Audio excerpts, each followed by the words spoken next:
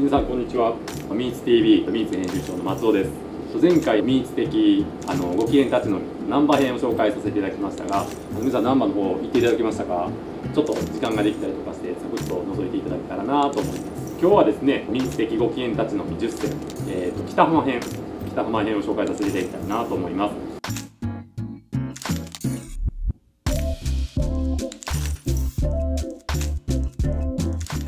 北浜はですねもともとやっぱオフィス街っていうところもあっていい立ち飲みが結構あったところなんですけど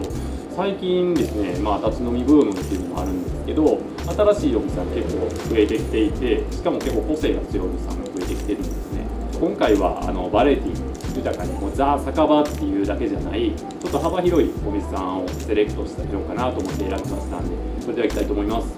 1軒目北浜村の村長的お店さんです。立ち飲み平山。2軒目はあの今めちゃくちゃ流行ってます。燻製たちのバピチ。3軒目は、えーと、アジア料理楽しみます。メイクワンツー。4軒目はですねちょっとストリート系店内もかっこいい DIY 系のストリート焼き鳥立つのに炭火焼き食堂三河。5軒目昔からあるあの渋い、えーと、しっぽり美味しい立ち飲み、えー、立ち飲み久松。6軒目ワインと鉄板が楽しめる北浜ダイナー。えー、7軒目はですねあの神戸の立ち飲みが北浜進出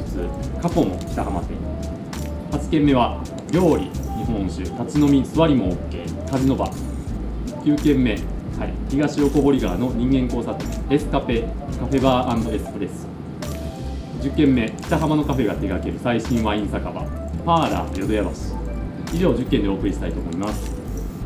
ニーツ的ご機嫌立ち飲み1軒目は大衆酒場平山です。平山さんはですね2013年にこちら北浜淀屋橋特集という特集をした際にこの表紙に撮影させていただいたお店さんでもあります。写真もすごい綺麗に撮れたなんか思い入れのある一作です。あのこの時はあの平山さんここのお店が界隈のあの飲食店主さんだったりお客さんだったりがあのみんな通ってるお店さんでここから次どこに行くねっていう起点になるお店さんだったんですね。というかなんかいろんな人が集まるお店さんだなというところが面白いなと思って1日営業が始まる4時から閉店の深夜0時まで密着させてもらって来られたお客さん全部撮影しました。来客数が延べ107人。出たお酒の杯数が338杯。名物の土壌のかば焼きが50本完売。あと忘れ物1件っていう。この界隈では北浜では外せないあのお店です。店主の平山さんがすごい面倒見のいい方でして、まあ、この特集を作るにあたりなんか一緒に飲みに連れて行ってくださってお店紹介してくださったりとかあそこのお店面白いですとかご紹介いただいたりとか本当に北浜を村と例えるとそこの村長さんと言える存在で海外の飲食店さんもまずあの平山さんに報告あの店を出すとかだったら報告されたりとか登壇に来られたりとかなんかそういったお客さんがすごく多くてあの今日これから紹介させていただくお店さんの中にもあの平山さんから実際にオープンするよとかあそこ行ってあげてとか教えていただいたお客さんも本当に多い。平山さんには飲み飲みの場であったりとかもするんですけど なんかミースでこんなんやったらいいんちゃうんとか立ち飲みとか今面白いんちゃうん。ワインどうよとか特殊なアイデアまでいただいたりとかしてちょっとあの頭の上がらない存在でもあります、えー、ミーツ的ご機嫌立ち飲み。2軒目は、えーと、ワピチです、えーと、こちらはですねあの東横堀川特集しました。あの際にも大きく紹介させていただいたあの燻製たちのです天満編で紹介させていただきました。テムパー。さんでテムパーであの修行というか働いたかれた経験もあってそこでちょっと燻製の方を勉強して独立の際にあの燻製を名物にされました。ワピチなんですけど本当に夜な夜なすごいあの満タコといいますかもういろんなお客さんが来てお店がパンパンになってるすごい人気店。でですねその人気の秘訣っていうのが店の内装がすごいかっこいいんですね。店主のアキラ君が結構こだわりがすごい強くてなんか多分こういう店にしたいとかっていうアイデアをふんだんに盛り込んだのを形にしてるので空間かっこい。いあとお料理も美味しい。あとですねお酒の方も結構いろいろ揃ってるんですけど結構秋谷君ねジンが大好きでいろんなクラフトジンジンが流行るもっと前々から揃えていってなんかアルケミエ辰巳蒸留所のジンだったりとか結構いろんななんか美味しいクラフトジンが揃っているのでそちらの方も楽しんでいただきたいと思います。あとワピチ。酒がめちゃくちゃ濃いので飲みすぎ注意です。ミーツ的ご機嫌立ち飲み3軒目はメイクワンツーです。ミーツではあの卵特集だったりだとかいろんな特集で最近よくお世話になってるで姉妹誌のサビーの方でも表紙になったりとか結構今ブレイクしてる立ち飲みです。お料理に関してはエスニック系のお料理が多くて台湾料理だったりちょっとスパイスを使ったお料理だったりあのそういった料理がすごく多い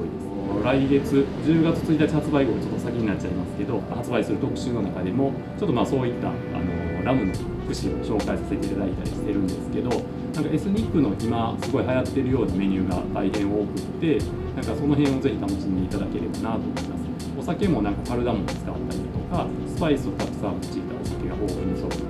ますすごいここのお店さんはかっこいいのは古いビルの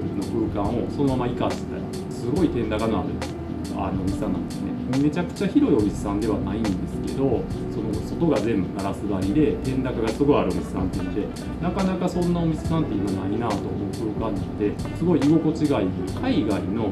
バルで飲んでるような感じになるという男性だけじゃなくて女性にも大変人気のお店なってます。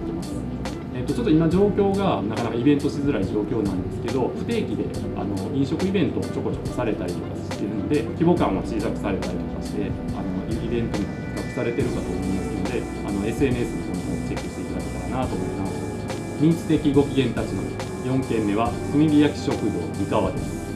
えー、三河はですね、あの昔、ミーツ立ち飲み特集をした際に、あの男子2人がやってる名物焼き鳥立ち飲み実はこちらのオープンの時をまさに平山さんにご紹介いただいたなんか面白い2人がお店やるからってあげて紹介されててって紹介いただいたお店さんなんですね。初めと行った時からずっと思ってるんですけど手作りの空間あの焼き台の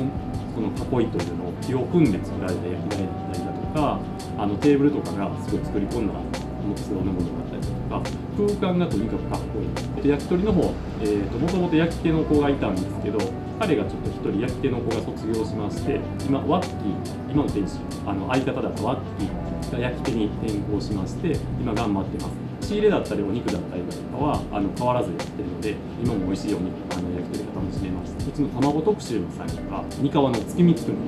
を紹介させてもらいましたあのこちらの方もぜひ名物なのでぜひ食べていただけたらなと思うのと曜日限定ですごいレアな部位の鶏を仕入れたりとかされてるのであの確か金曜日だったと思うんですけど金曜日は鶏の仕入れがちょっと増えたりとかしてあの面白い鶏が入っているので週末なんでなかなか飛んでくる時なんですがぜひ狙い目だと思っていただけたらなと思います、えー、民主的ご機嫌立ち飲み5軒目は立ち飲み久松です。えー、久松さんはですね平山さんからすごくすごく近所のあの路地の中にある立ちなみです。オープンされて1 5 6年なのかな。お店さんでもういわばまあ海外で言えば老舗的なお店さんです。もともと料理店主さんっていうのがお寿司の職人さんだったんですね。独立される際に自分の勉強してきたお料理っていうのを立ち飲みの価格でもう気軽に食べてほしいなというので立ち飲みのスタイルでオープンされたお店さんです。なのであの料理のクオリティっていうのはやっぱり抜群でちょっと立ち飲みとは規格外みたいなお料理が大変出てるんですね。当然この界隈のサラリーマンの皆さんすごい人気でですね、まあ、仕事終わり5時6時頃からいつも満席が続くような形なんです。今はまあちょっと状況的にそこまで混んではいないんじゃないかなとは思うんですけどあのぜひいろんな料理を楽しんでほしいなと思うお店なんです。でお酒の方もあのすごいあの揃えられてるお店さんなのでぜひ日本酒だったり焼酎だったりいろんなお酒を多種揃えられてるのでいろいろ楽しんでいただけたらなと思います。で普段平日は立ち飲みなんですけど週末土曜日こちらの方は椅子を出されて座ってゆっくり飲めますのでなんかお休みの日にあの土曜日出会ってあのゆっくり飲みに食事楽しみに行かれるのもありかなと思います。民主的ご機嫌立ち飲み6軒目は北浜ダイナー。北浜ダイナーはですね平山さんとあの並ぶこの界隈の顔的存在の、えー、立ち飲みです。もともとフレンチのシェフがあのオーナーさんなんですけどあの鉄板料理あと世界のワインいろんな世界各国のワインを20種ほど揃えられてるんですねなんでそれにあのワインとそれに合わせた鉄板料理っていうのをメインにされてますミーツでいうと北浜淀屋橋特集でそうですしああの2合目の北浜淀屋橋魚橋特集こちらの方も今ご紹介させていただいて定番店。なんですけどあの平山さんと北浜ダイナーのオーナーさんで、まあ、この辺の立ち飲みの話を一回対談いただいたりとかっていうのをさせていただいた本当に顔の一つのお店さんになってます。ワインの方がですねいっぱい大体500円以下ぐらいであの全種楽しめる固定の価格なので気軽にいろいろ食べるっていうのも嬉しいかなと思います。締めの方で食べていただくカレーリゾットこちらの方が大変美味しいので食べていただけたらなと思います。民主的ご機嫌立ち飲み7軒目は加古も北浜店です加古もさんなんですけどあのこちらあの北浜店でついてるのはですねあの神戸の住吉の方にあの立ち飲みの加古もっていうすごい人気の立ち飲みがあったんですけどそちらのお店さんが大阪の方にあのお店を出されたっていうことで、えー、確か2014年にあの北浜にオープンされたお店さんです、まあ、あの本店の方でもお魚料理がすごく美味しい発泡的なカチッとした綺麗なお料理であの素材もすごく美味しいお料理が本当に全部揃ってきましてお客さんも当然人気なんですけどうちの編集部で特に女性にもすごい人気のお店でうちの編集部の女子があのこの界隈で飲みながら酒飲みするなっていうのであのこぞって行ってる一軒になります。料理のクオリティが高いっていうところもあるとメニューの方はですねやっぱり宮崎牛だったりとかあのどこどこさん天然生牡蠣とかあのそういったのも揃えられてるんでメニュー表もすごい注ぐメニューになってます。店の空間がですねなんか小料理屋といいますか独特の落ち着いた空間なんです。くつろげるというかしっぽりしてしまう。居心地の独特の良さっていうのは何なのかなと思っていつも不思議に思ってなんかついついいつも行くと長居してしまうんですよね。民主的ご機嫌立ち飲み。8軒目は離れ飲みカジノバです。カジノバさんはですね2017年にオープンであのアイシュデートっていう日本酒のイベントがあるんですけど飲食店としてブース出店されたりとかするあの日本酒すごい揃えられてるお店さんです。大きい冷蔵庫がありまして値段が3種か4種決まっていて飲みたいお酒を自分で取ってきてついで飲めるっていうスタイルで日本酒通の人があのすごい楽しめるお店だなと思います。当然日本酒居酒屋大変多いんですけどあても抜群に文句なし。お料理がすごい多いんでなんか僕の周りだとお酒飲む人は当然なんですけどなんかあんまりお酒飲まないあの女子友達とかもなんか最近ご飯食べに行ったりとかよくしてます。ミーツの編集部だったり会社周りのものが結構よくカジノバさんオープン当初とか行ってたんでちょっと一時期ちょっと僕あんまり顔をはすので外れ晴らしてて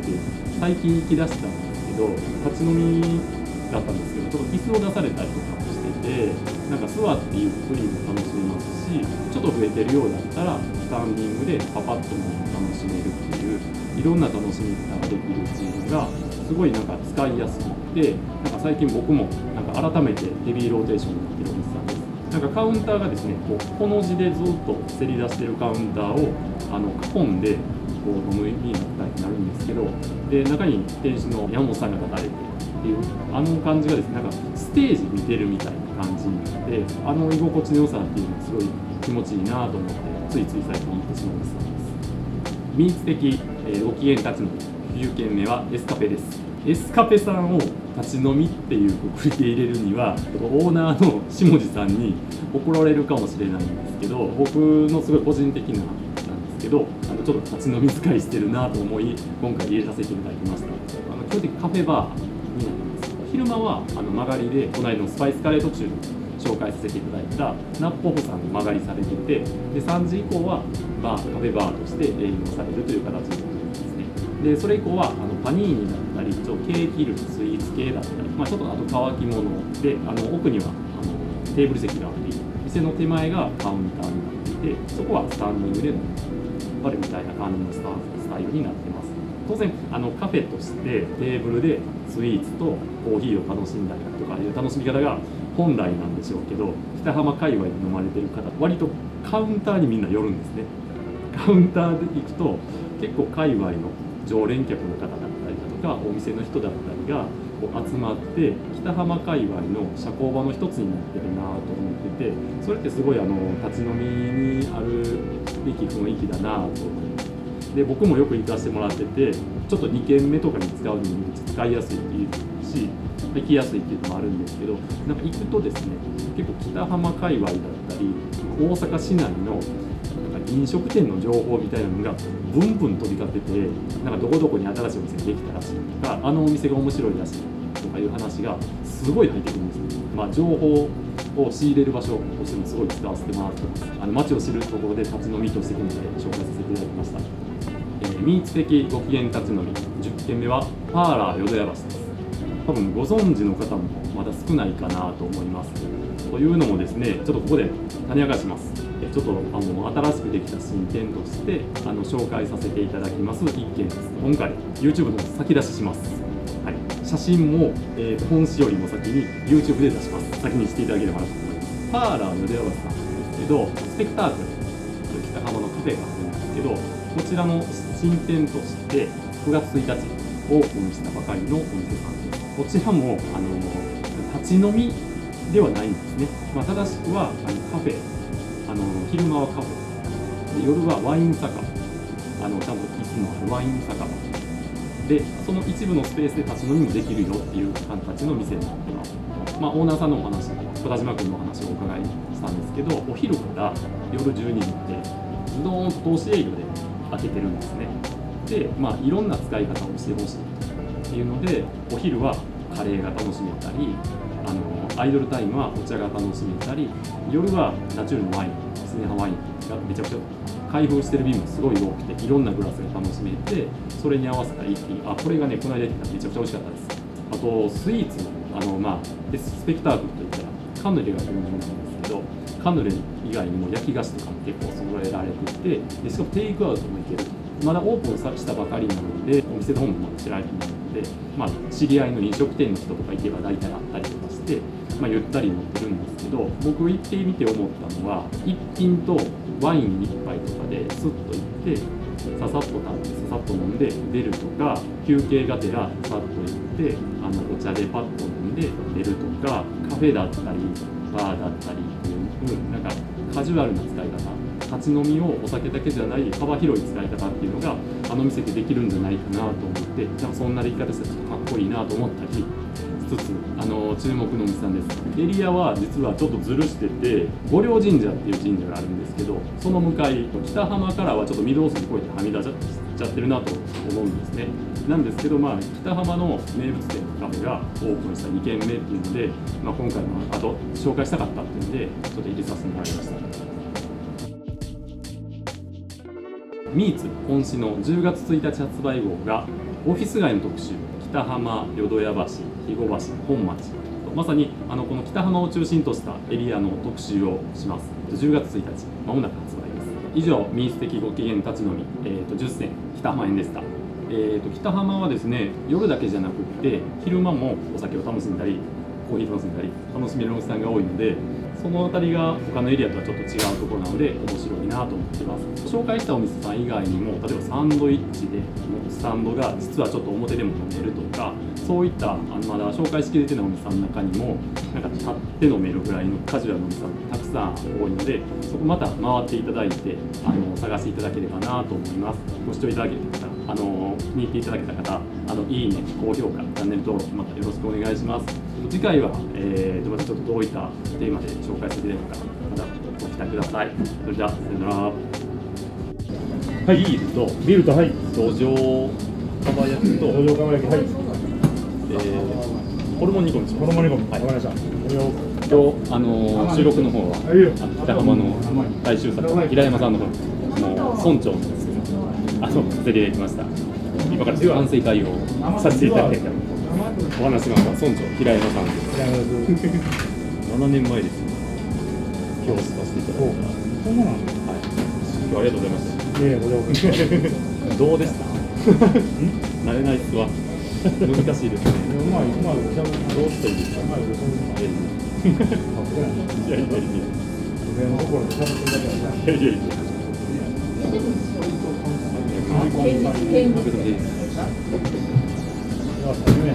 勝手に出そうかな思ってた。あ、もう店です。か。あ、これよと思って。そうなんです。ちなみに10月末とかで9月末にこれ流す。んです。けどうん9月末とかだと目に上がる健康若干こうなんていう何入ってきそうです。いやこないかはこないかは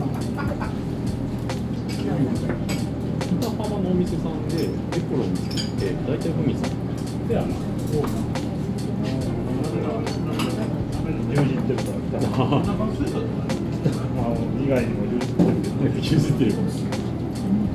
何でもやらんとと思いますもういやもう全然もう宿泊してるんですよ。名物その。ホルモン煮込みです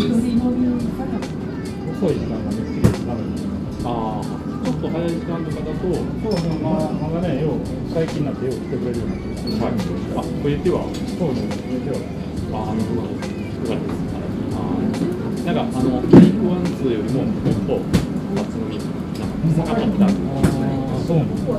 じゃあ以上アフタートーク反省会でしたじゃあこのままちょっと反省会飲みながら続けたいと思いますまた次週最後に告知ですただいま発売中。ミニツリージョナル10月号は堺の大正解。大阪堺市特集になります。堺の面白いお店たくさん載っておりましてあの表紙でもこれ登場いただいてます。窪塚洋介さんに、えー、と堺東初めてお連れしましてあのちょっとなんかはしご酒していただいたりしております。ぜひあの手に取ってご覧ください。それとですね10月31日に毎年恒例酒祭りあの今年も開催します。で今年はですねちょっとまあ新型コロナウイルスの影響もありますのであのちょっとオンラインで開催してみようかなと思います。内容はですね今回はスポンサードいただきました、えスポンサーさんから抽選1000名様に、あのスポンサードいただいたあのお酒をお送りしまして10月31日の開催日に一緒にお酒を飲みながらイベントをできたらなと思ってますのであのただいま大絶賛募集中です。のでぜひ応募いただければなと思います。応募はあの本誌のこちらの QR コード